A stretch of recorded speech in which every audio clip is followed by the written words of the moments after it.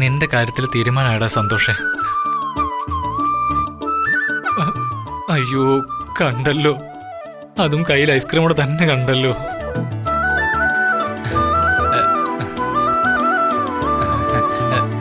എന്താ മിസ് ഈ വഴിക്കൊക്കെ? ഷോപ്പിങ്ങിന് വന്നതാ മുകുന്ദ. മിസ് അയ്യോ. ഇഫ് യു ഡോണ്ട് മൈൻഡ് ഇതൊന്ന് എടുത്തു തരൂ. നീ എന്തിനാ മുകുന്ദ ഇത്ര കഷ്ടപ്പെടുന്നേ? ഇത് ഡ്രൈവറിന്റെ കയ്യിൽ കൊടുത്ത പോരായിരുന്നോ? പതിയെ കത്തുന്നുണ്ടല്ലോ. അങ്കിൾ ഐസ്ക്രീം വാങ്ങിച്ചോണ്ടിരിക്കല്ലേ മിസ്? അതുകൊണ്ടാ. Hello mister. ഇതൊരു കൊച്ചുകുട്ടിയല്ലേ? അവന്റെ കയ്യിൽ ഇത്രയും വെയിറ്റ് കൊടുത്തിട്ട് നിങ്ങൾ ഐസ്ക്രീമും കഴിച്ച് രസിച്ച് നടക്കുകയാണല്ലേ? അയ്യോ അല്ല ടീച്ചർ. നടന്നതിന്റെ സത്യാവസ്ഥ എന്താന്ന് മനസ്സിലാക്കാതെ ടീച്ചർ എന്നെ തെറ്റിദ്ധരിച്ചിരിക്കുക ഞാൻ എന്ത് തെറ്റിദ്ധരിച്ചെന്നാ?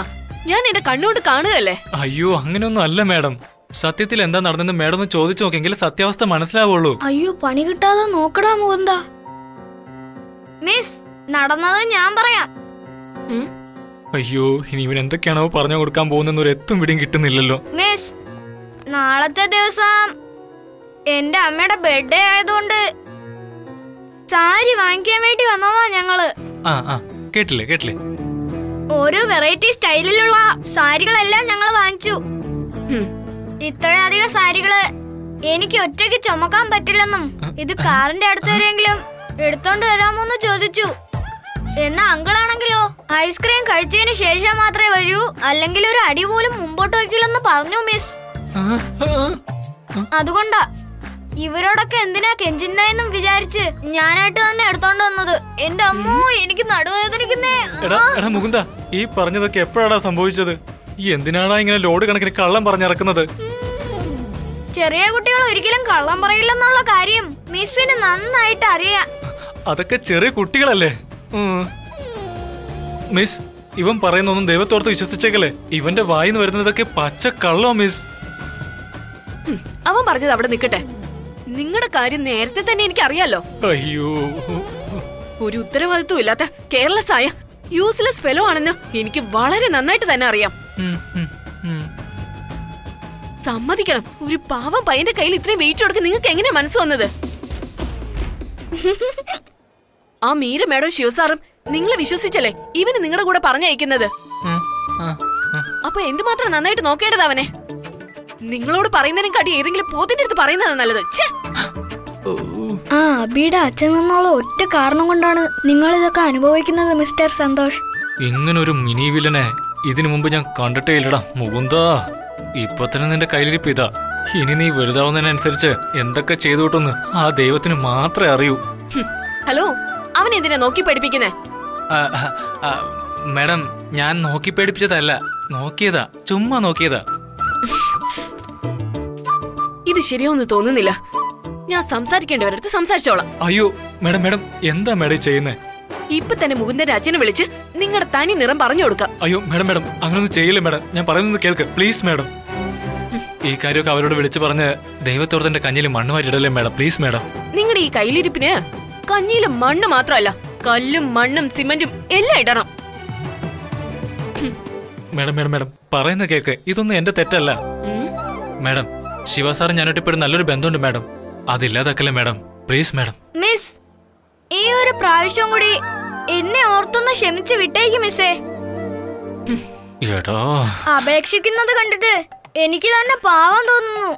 ഇതൊക്കെ ഒപ്പിച്ചു വെച്ചിട്ട് എനിക്ക് വേണ്ടി വാദിക്കുന്നോടാ നീ. മര്യാദയ്ക്ക് അവന്റെ കയ്യിൽ ഐസ്ക്രീം കൊടുത്തിട്ട് നിങ്ങൾ ഈ ബാഗ് പിടിക്കാൻ നോക്ക്. ദാദാ ദാ, ദാ, ഇപ്പൊ പിടിക്കാം മാഡം. മുകുന്ദ ഇത് പിടിക്ക. ഇത് പിടിക്കടാ. ഹൈ. അതിങ്ങതാ ആ. കവറിങ്ങതാ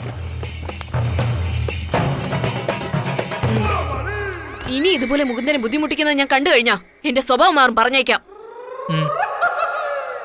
ഞാൻ പോയിട്ട് വരാം മൂന്ത ഓക്കേ മിസ്.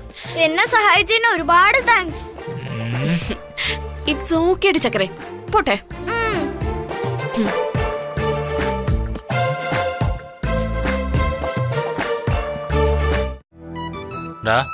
നീ എന്താടാ നോക്കുന്നേ? നോക്കിയതല്ല. നോക്കി പേടിപ്പിച്ചതാ. അവർ നിന്റെ ടീച്ചറാണോ? അതോ എന്റെ ടീച്ചറാണോ? എന്നെ എവിടെ വെച്ച് കണ്ടാലും അപ്പൊ വഴക്കുണ്ടാക്കും. അവരായിട്ട് പറയുന്നതല്ലോ ഞാനായിട്ട് വഴക്ക് വാങ്ങിച്ച് തരുന്നതല്ലേ? അതും അറിയാം. നന്നായിട്ട് അറിയാം. അത് എന്തിനാന്നാ ചോദിച്ചത്? അതിന് മാത്രം നിനക്ക് എന്നോട് എന്താ ഇത്ര ദേഷ്യം? നിങ്ങളോട് ഒരു ദേഷ്യമില്ല നിങ്ങളുടെ മോൾ അബിയോടോ ദേഷ്യം. എടാ അവൾ നിന്നോട് എന്ത് ദ്രോഹോടെ ചെയ്ത്? അവൾ അവളുടെ കാര്യം നോക്കി മര്യാദയ്ക്ക് പോയിക്കൊണ്ടിരിക്കുവല്ലേ? അങ്കിളുടെ മോളെ കൂടുതൽ ന്യായീകരിക്കണ്ട. എനിക്ക് ദേഷ്യം വരുന്നുണ്ട്. ബ്രോ എന്താ ഇവിടെ നിൽക്കുന്നേ പാർക്കിംഗ് ഏരിയയിൽ ഉണ്ടാവുന്ന ഞാൻ വിചാരിച്ചേ. അങ്കിൾ ഓരോന്നും ഇങ്ങനെ വാങ്ങിച്ചു കൂട്ടായിരുന്നു വാങ്ങിച്ചു കൂട്ടുമായിരുന്നോ അതെന്താ എന്തെങ്കിലും വാങ്ങി ട്രയൽ നോക്കുമായിരുന്നോ? അതൊന്നും അല്ല ചെറിയ എന്റെ ക്ലാസ് ടീച്ചറിന്റെ കയ്യിൽ നിന്നേ വഴക്ക് വാങ്ങി കൂട്ടുമായിരുന്നു അങ്കിൾ.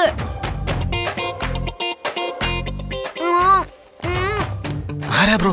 ബ്രോയുടെ ആ ടീച്ചറിന്റെ കാര്യമാണോ പറയുന്നേ? അതിനെ കുറിച്ച് തന്നെ പറഞ്ഞു തരാം ദാ ഇവൻ പറഞ്ഞ നുണയൊക്കെ കേട്ട് അവരിപ്പങ്ങ് ചാടിത്തുള്ളി പോയതേ ഉള്ളൂ. ശരി അത് വിട്ടേക്ക്. വഴക്കിൽ തുടങ്ങിയല്ലേ അതിൽ ചെന്ന് അവസാനിക്കൂ. ഏതിൽ? അതിൽ. അതിൽ ബ്രോ. എന്റെ രഘു നിങ്ങക്ക് വേറൊന്നും പറയാനില്ലേ? അച്ഛാ നമുക്ക് പോവാ. സാരി എടുത്തു. ആ പോവാം മോളെ. ഇപ്പൊ പോവാം.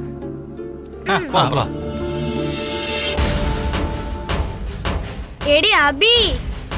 നീ എന്ത് വേണമെന്നുണ്ടെങ്കിലും ചെയ്തോ. ഈ മുകുന്ദന്റെ ശരിക്കുള്ള കളികൾ. ഇനി നീ കാണാൻ പോകുന്നതേ ഉള്ളൂ. എടാ ലുട്ടാപ്പി നീ എന്താലോചിക്കാ? ഇങ്ങോട്ട് വാടാ പോവാ.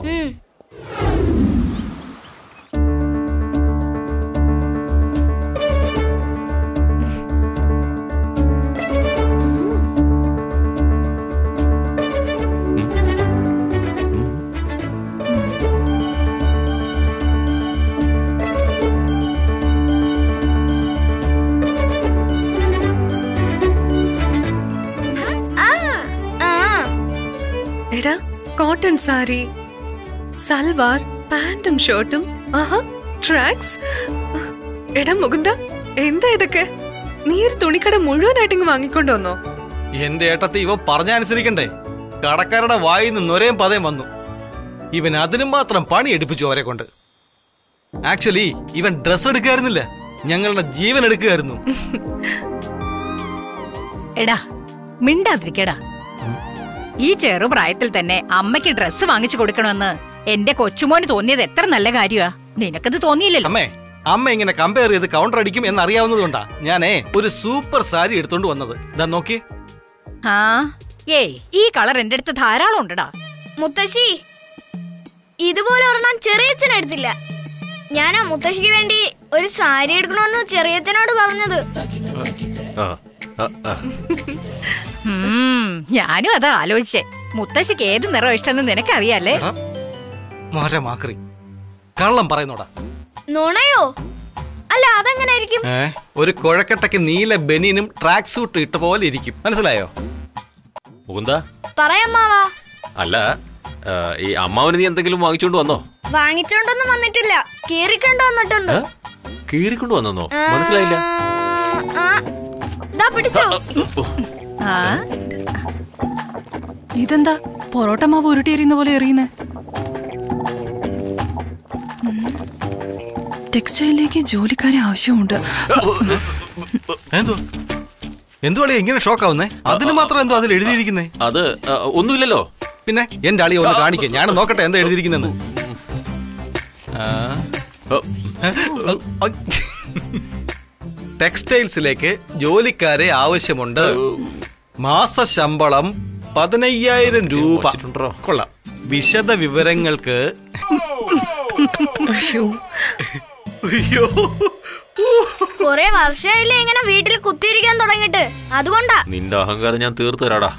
ഈ ജോലിക്കെങ്കിലും പോയി കഴിഞ്ഞാ മാസം മാസം ഒരു തുക കയ്യിലോട്ട് കിട്ടുമെന്ന് വിചാരിച്ചിട്ടാ ഞാൻ മതിലൊട്ടിച്ചേർന്ന അങ്ങനെ തന്നെ കീറിക്കൊണ്ടു വന്നത് നീ മിക്കവാറും എന്റെ കയ്യിൽ നിന്ന് വാങ്ങൂടാ കുട്ടാപ്പി മുകുന്ദ വന്ന് വന്ന് നിനക്ക് അധിക പ്രസംഗം കുറച്ച് കൂടുന്നുണ്ട്. ഹ, വിട്ടുകളയേട്ടത്തി മുകുന്ദൻ ആദ്യമായിട്ടാ ഒരു സത്യം ഇങ്ങനെ വിളിച്ചു പറയുന്നത് ഞാൻ കേൾക്കുന്നത്. ചെറിയച്ചാ ചെറിയച്ചനെ ഒരെണ്ണം കരുതി വെച്ചിട്ടുണ്ട്. അത് ഞാൻ എറിഞ്ഞു തരട്ടെ അങ്ങോട്ട്. അയ്യോ വേണ്ടടാ എന്റെ പൊന്നു മോനെ വിട്ടേക്ക്. ഞാൻ ഒന്നിനുമില്ല. അമ്മേ നാളെ അമ്മയുടെ ബർത്ത്ഡേക്ക് വേണ്ടി ഞാൻ എടുത്തോണ്ട് വന്ന ഈ എല്ലാ ഡ്രസ്സുകളും അമ്മ ഇട്ടോണ്ട് വരണം. ഏ മുകുന്ദ അമ്മ സാരി അല്ലാതെ വേറെ ഒരു ഡ്രസ്സും ഇടില്ല മോനെ. ദാ ഈ സാരി കണ്ടില്ലേ?